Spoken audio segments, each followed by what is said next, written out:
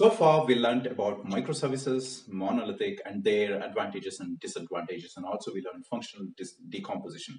Now let's learn how we can scale the microservices.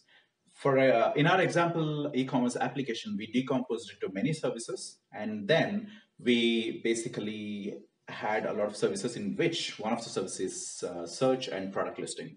Um, definitely in, an, in any e-commerce application, the more load usually goes to search and uh, product page because user will be searching a lot and then after searching for a couple of minutes and they only pick one or more uh, products um, put it to the cart and then check out right? So usually the heavy load will be on the search and product. So we decomposed but the load on search and product is more so we have to scale out. What are the different strategies we can uh, scale the microservices on?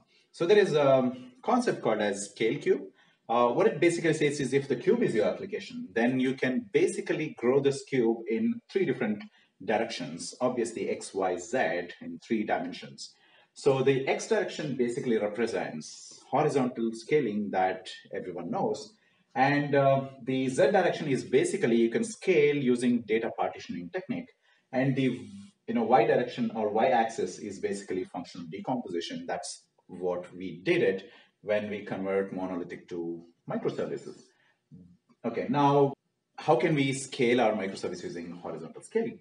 Definitely it's so simple, right? So you have a microservice that is search and product microservice. Now, if you want to scale this one, all you have to do is run a du duplicate copy of the same service. That's all.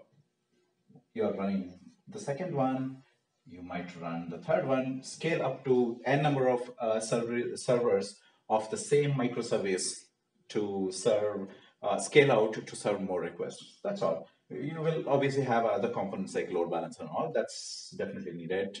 Uh, in microservices, you will have a service discovery API gateway and all of that, but that's the concepts. Those are the concepts we, we will learn in the upcoming videos. But basically horizontal scaling is scale your one small or you know individual service uh, horizontally to scale it up more. So the next one is basically the y-axis scaling called as functional decomposition. Um, you might say that we already did it. That's that's how we ended up uh, to microservices, but it doesn't say is that's the end of it, right? We can actually decompose the search and product page more again, and then make more services out of it like for example, search and product page can have can be decomposed into more services. Say uh,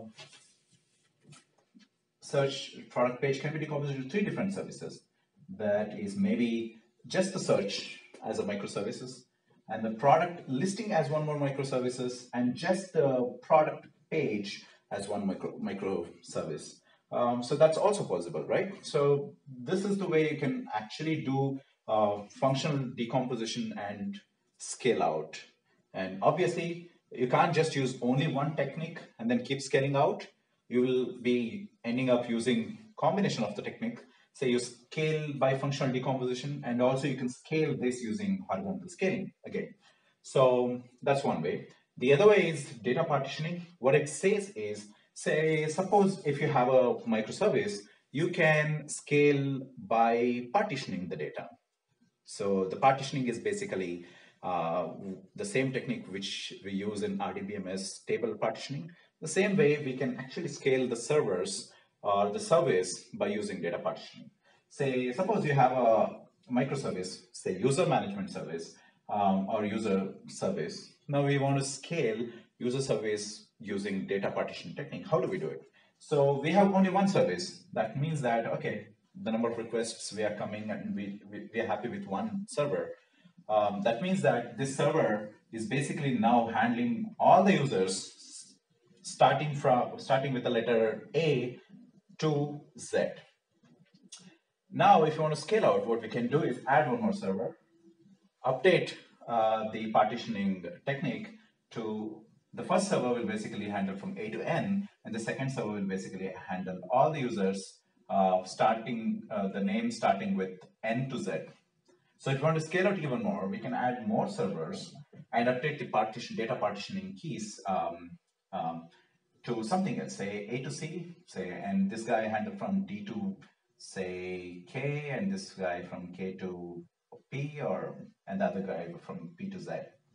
Something like this. So basically you're scaling out by partitioning the data. This could be user ID range, or it could be user ID starting name, or it could be any other strategy which you really like it.